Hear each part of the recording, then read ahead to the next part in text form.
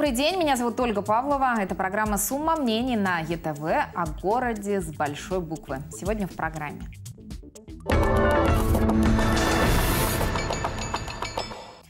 Родители школьников и студентов схватились за головы. После того, как проезд в метро исключили из единого льготного проездного и подняли стоимость оплаты, э, дети стали тратить на проезд по полторы-две тысячи рублей в месяц. Родители пишут письма в город администрацию Минтранс с просьбой вернуть детям льготы на проезд в метро. Услышит ли их администрация и что будет, если не услышит? Обсудим на ЕТВ.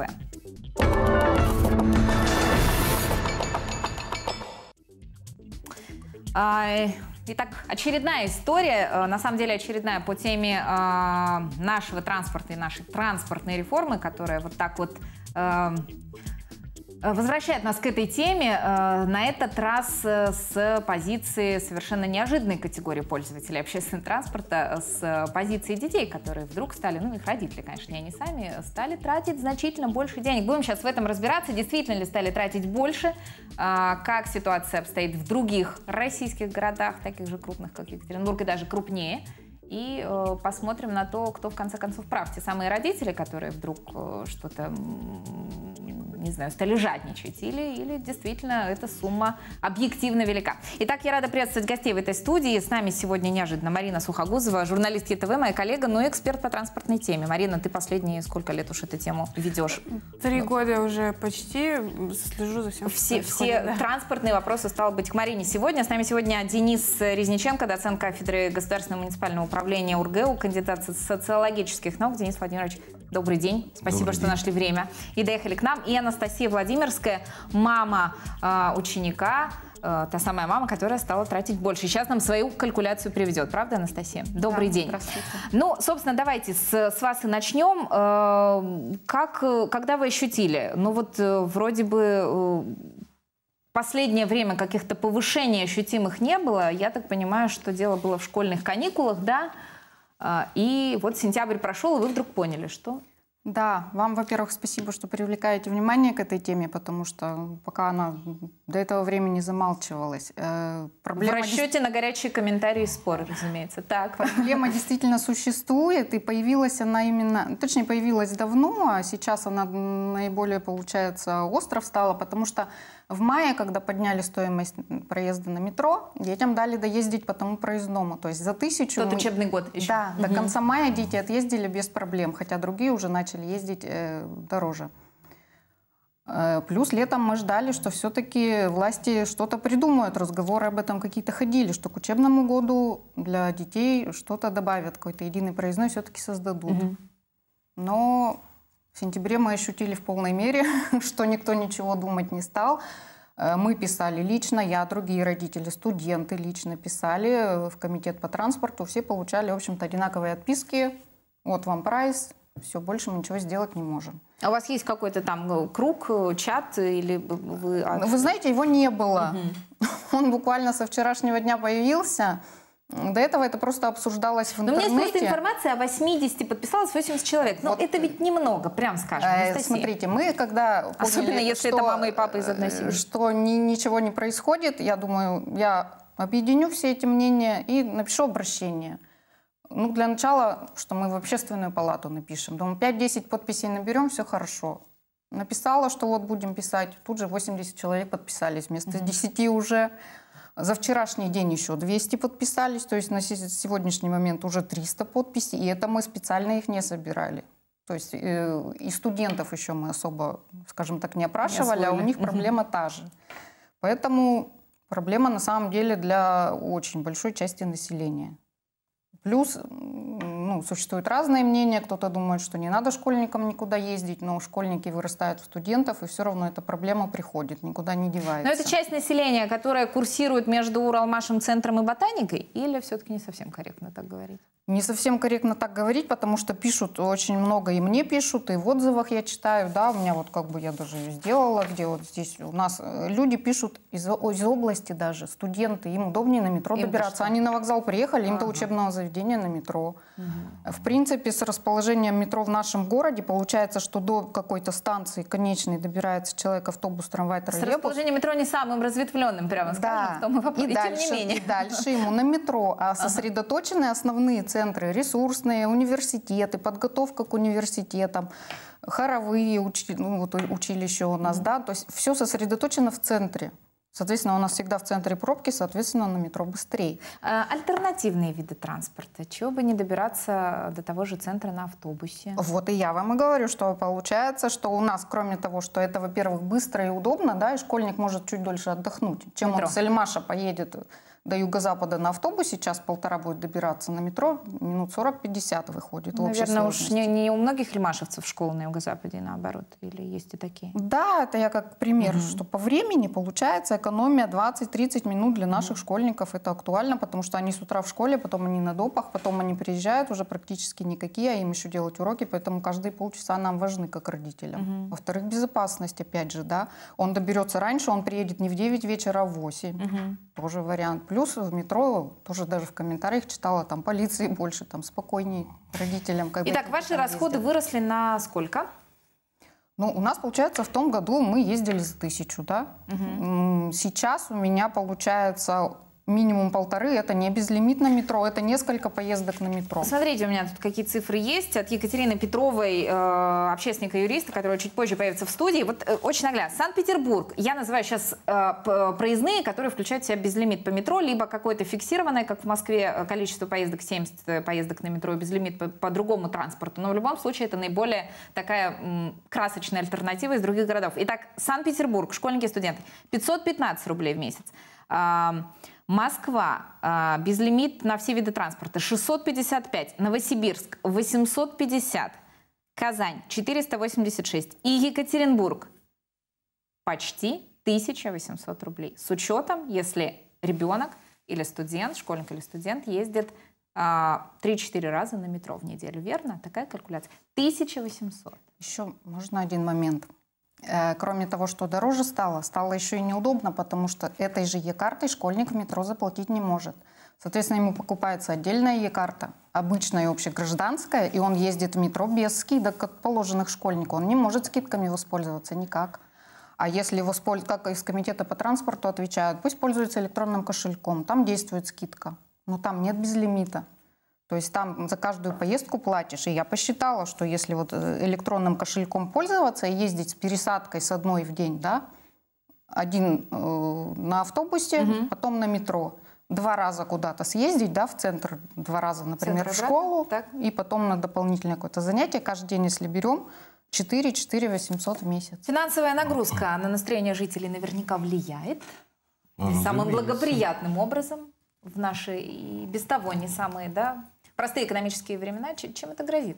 Ну, дело в том, что по опросам, э, которые проводят социологи, и в ЦОМ в частности, на первом месте среди проблематива это, конечно, снижение уровня доходов у россиян на сегодняшний день.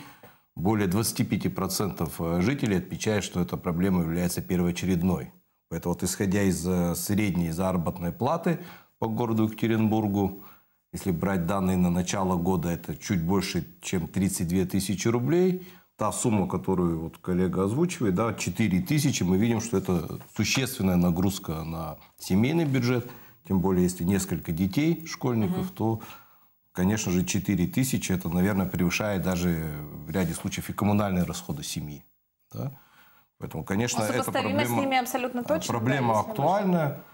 Это, это малолитражку заправлять, слушайте. Э, Это Абсолютно. малолитражку заправлять. И при этом учтите такой факт, что по данным, И же... неплохим бензином, в общем-то. Если много не ездишь, вполне себе надо там... Ну, Да. это, это возмущение в, в такой форме у меня. Опять же, масштаб- масштабы Так. проблемы, которую мы разбираем, я специально посмотрел статистику по пассажиропотоку в метро. Ой, Так сейчас вот, Марина подключится. Да, так. школьники, э, по, опять же, данным метрополитена, это 1% пассажиров в день. Еще плюс 3% это студенты. Если говорить об абсолютных цифрах, то школьники в день, средняя цифра это 1600 человек. Да? Как мало, а остальные Да. ходят пешком? При этом мы говорим о У остальных школы рядом с домом? Да. вероятно? Остальных либо школа рядом с домом, либо, ну, опять же, наше метро, как известно, недогружено, да, поэтому испытывает дефицит, наверное, пассажиров, в то время как мы, собственно, не идем навстречу даже такой социально незащищенной, я бы сказал, категории, как э, дети. Ну, чем-то это грозит? Вот, э, вот так вот. Тут такой очаг недовольства, тут, казалось бы. разумеется, разумеется, это вызывает рост и социальной напряженности, с одной стороны, и правильно отмечалось, что это влияет и на безопасность детей, потому что как раз сейчас ехал в метро в студию, видел э, рекламу, опять же, метрополитена, где было написано, что нет опасных перекрестков, что досмотр багажа и видеокамеры, да, и в силу последних событий, которые в России произошли, трагические, да, связанные с э, трагедией в Самаре, да, ну, В Саратове. в Саратове, прошу прощения, сносить гаражи, да, там приказал градоначальник. Ну, опять же, это ак- усиливает актуальность этой проблемы. Ну, попробуем защитить как-то транспортников метро. И нет? Никак? Не удается? Никак, никак не защитить. То есть я сейчас немножко на полгода назад. А, в общем, проезд повысили, э, проезд метро по- повысили 15 мая. Все мы помним, что происходило 15 мая, почему Нет? Что? были события в сквере. И, тогда, и тогда всем было не до метро. Ну, и, то есть, и неделя моему ребенку, да, хотя я следила за, за происходящим так. Тем более. Вот. И все внимание было на сквере. Из-за этого э, внимание на метро никто не обращал. Ну, то есть повысила, повысилась цена до 32 рублей. Причем, Ты думаешь, это Э, целенаправленно нет, произошло в тот нет, период? Нет, это Не- целенаправленно в тот период. Так. А, произошло. Это произошло, потому что вот э, Минтранс согласовал такое э, повышение цены на проезд. Причем это была инвестиционная э, добавка 4 рубля с каждого билета, поэтому э, на новые вагоны. Ну, то есть э, мы на эти деньги новые вагоны покупаем или ремонтируем старые. Да-да-да. А, из-за этого, вот именно из-за того, что это инвестиционная надбавка, ее никак нельзя терять, метро исключили из всех проездных, вообще из всех. То есть э, теперь абонементы на метро не- купить невозможно, потому что каждый должен за каждую поездку платить 32 рубля. Такая логика. Вот. Естественно, когда а, метро убрали из Е-карты, а, у всех появились вопросы. Ну, то есть у всех, кто Подожди, я не понимаю, за этим. метро сейчас отдельный капитал? Да. Да. Э, э, За метро невозможно заплатить, если у тебя проездной. То есть тебе нужна либо отдельная карта на метро, либо плати телефоном, либо плати, покупай каждый раз жетоны, что-то такое. А, И э, из-за этого, а, когда, ну, когда убрали, естественно, все а, из всех проездных, а, мы задали вопросы, естественно, ну, кто следил, там, три человека, а, нам сказали, что мы не смогли посчитать так, чтобы... э, ну, то есть они, конечно, не сказали, мы не смогли, но просто по, э, по всем нашим расчетам а, мы решили просто не включать э, e-карту в, в e-карту метро, чтобы, не, э, чтобы не возрастала стоимость абонемента, ну, то есть проездного, или еще что-то в этом духе. Но я подозреваю, что им, они просто не смогли посчитать, как, как бы так сделать, чтобы каждая м, поездка на метро все-таки оставалась э, 32 рубля. Вот. А, Либо заморачиваться не стали, либо... Это ответ ли- э, либо не- транспортников администрации? А, Или это метрополитен именно? А, все говорят, ну, все, все, кто имеет к этому отношение, то есть и, и сеть, которая обслуживает и карту, и э, администрация, что мы убрали метро, потому что все должны платить 32 рубля. Что значит, что они не смогли посчитать так, чтобы включить все-таки в проездной. Есть какой-то сценарий? Ну вот ты эксперт в этой теме, чтобы сейчас... Нет. или Нет. что? Нет, да? какой сценарий? Ну, то есть нет Ну никакого... какой? Ну вагоны купили, хорошо, что все Да, рады. э, То есть, понятно, или... Всегда есть на что нам тратить деньги. Вот, то есть э, я однажды я написала текст Включая родителей школьников. Да. Я однажды написала текст «Транспортный ад», после которого бомбануло у всех. А, И там я задавала ряд вопросов, э, в том числе, там, что мы будем делать, когда мы все вагоны поменяем, все вагоны отремонтируем, Вторую Построим линию еще три ветки. По- построим еще 33, наверное, Да. ветки, да, у нас э, молятся на метро.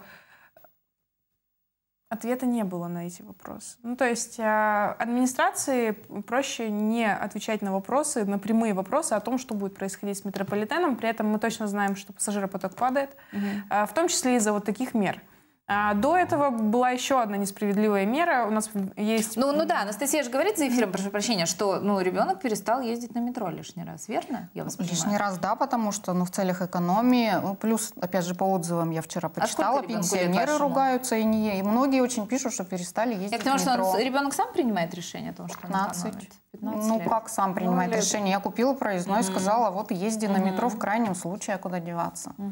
То есть у нее вторая карта есть, где просто деньги лежат. То есть метро таким образом лишается еще какой-то части А пассажиропотока. оно лишается не только студентов, школьников, потому что а, из проездных а, пенсионерских тоже убрали это, и из льготных проездных тоже убрали. Ну, то есть все льготники, кто у нас есть, а, они все потеряли метро. Ну, то есть за метро... А это на фоне того, я сфокусируюсь, что метро у нас и так не сильно загружено. Это корректно говорить? Ну да, у нас пассажиропоток падает.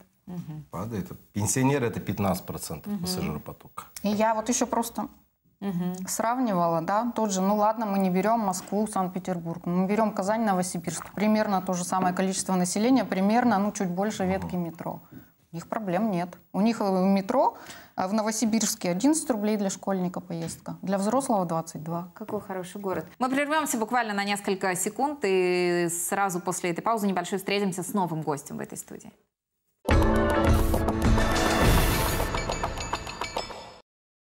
Екатерина Петрова, юрист, член Общественной палаты, появилась в этой группе. Э, Традиционно к Екатерине вопросы в таких случаях, конечно, но э, что можно посоветовать? Да вот чисто юридически по букве закона сейчас родителям делать.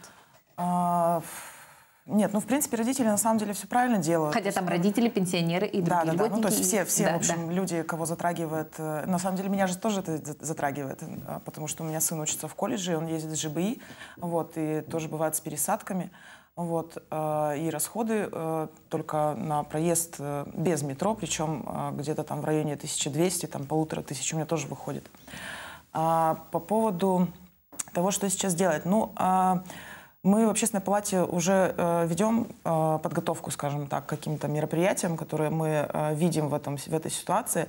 А, я думаю, что мы будем а, делать э, на вроде что-то круглого стола, а, в рамках общественной палаты а, пригласим обязательно все стороны а, этой истории. Это будет и комитет по транспорту, и, конечно же, представители метрополитена, а, Министерство транспорта областного, которые утверждали тарифы в итоге. Вот. э, Не будем скрывать, мы на ты, да. Ты веришь, что можно что-то исправить? А Почему нет? Во-первых, э, ну, то есть, э, во-первых, мне очень интересно было бы пообщаться с представителями метрополитена в таком формате, потому что мне интересно, э, спустя полгода, как, с Это момента контактные введения... люди. А, с- С момента введения вот этой инвестиционной надбавки, а, что было сделано, сколько было получено денег и на что они были ра- расpoтрачены. Но э, покупку новых вагонов я не припомню, потому что я смотрела последние контракты, у них, э, у них действительно был какой-то ремонт, Я по-моему. помню какие-то сюжеты, Нет, что-то было. Несколько ремонтов, да, было. А было несколько ремонтов. А, да, ремонт да, да. вагонов был, да, да, да, какие-то да, да. Ну, там, были, э, там сумма там миллион Ага. триста где-то около там. Но это ремонт миллиона. старых, а не покупка. Ну. Да. такой капитальный. Ага. Вот. А, хотелось бы посмотреть, то есть все ли действительно деньги были вот, ну то есть сколько сколько они э, собрали за эти полгода именно вот э, с этих четырех рублей с одной поездки, вот. И учитывая, что там я говорю контрактов там было ну там два или три, может быть, там они все в районе там миллиона полутора, если я не ошибаюсь, к сожалению не не принесла с собой цифры, вот э, со- со- соответствует ли это в общем тем э, затратам, которые понесли пассажиры метро. Вот. А, Но я, понимаете, у меня, конечно, очень предвзятое отношение к этим всем историям с инве- инвестиционными надбавками, а, потому что, эм, особенно которые вот э, где-то происходят у нас в городе, потому что достаточно вспомнить историю с инвестиционной надбавкой а, по...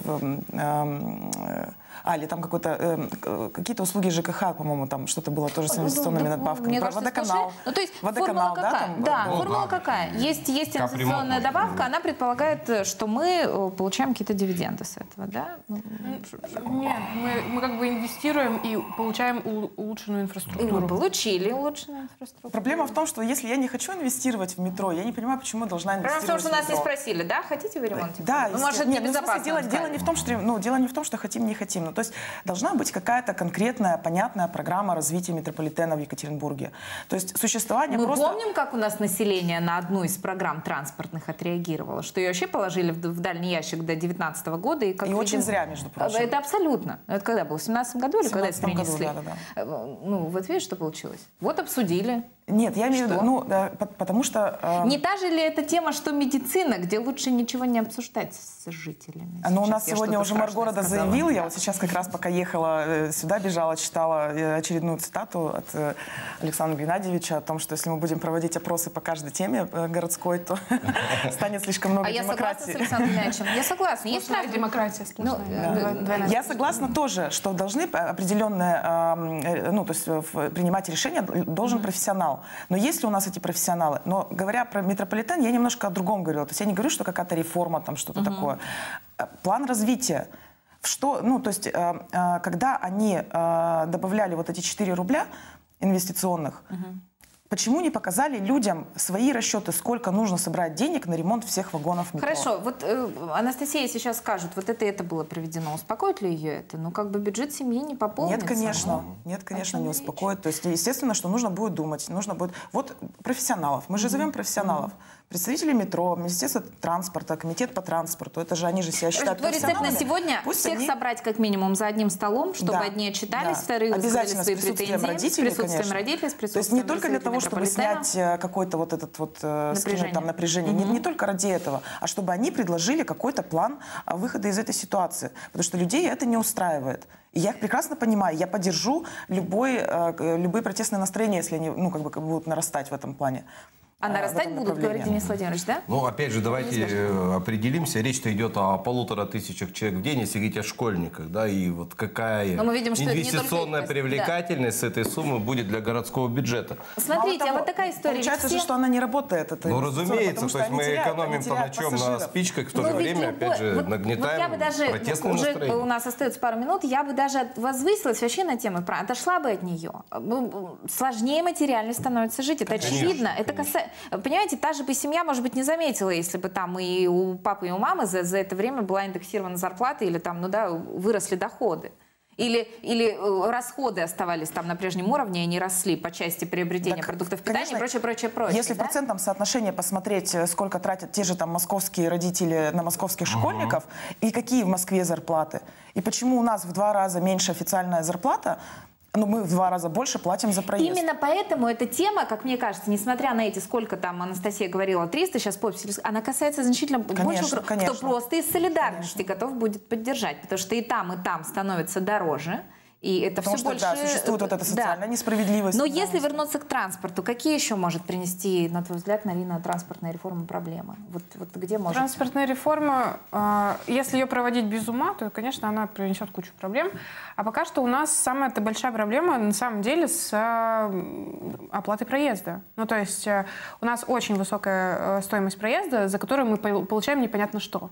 И э, в том числе по, по метро. Ну, то есть в метро не изменилось ничего для нас. То есть не увеличилось количество вагонов, не, они не стали чаще ходить, соответственно, из-за этого. Но мы платим на 4 рубля больше. Ну, кто-то там может платить на 4 рубля меньше, потому что у него карта МИР, а, а на самом деле, а все остальные платят э, 32 рубля. Что мы за это получили? Ничего. А, точно так же повысили цену э, до 28 рублей э, год назад. Когда? Два года назад.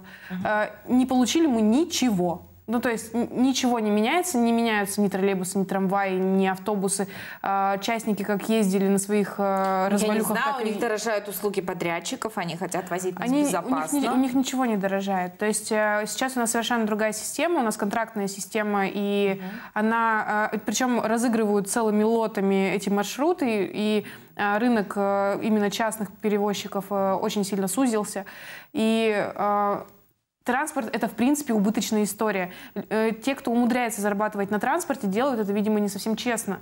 Потому что если э, учитывать там и э, подвижной состав, э, его соответствующее состояние, и э, кондукторов, и все вместе, то есть и зарплата э, там, водителю, э, то это, это очень большие деньги, Можно ли говорить о том, нет. вопрос ко всем, что мы сейчас на некой вершине айсберга очередного транспортного в Екатеринбурге вот по нарастанию конечно. негатива от Конечно. пользователей? А у нас, у нас идет транспортная реформа, как будто бы незаметно от нас.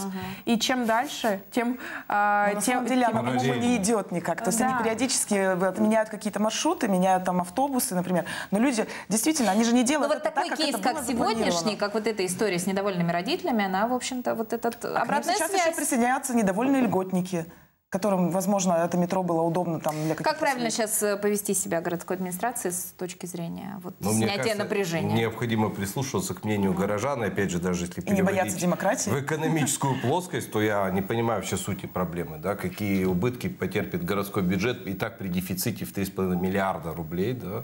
Я думаю, что на школьниках и студентах вряд ли мы исправим эту ситуацию. А, ладно, транспортную тему мы, разумеется, не заканчиваем. Я благодарю гостей в этой студии. Оставайтесь на ИТВ. Счастливо.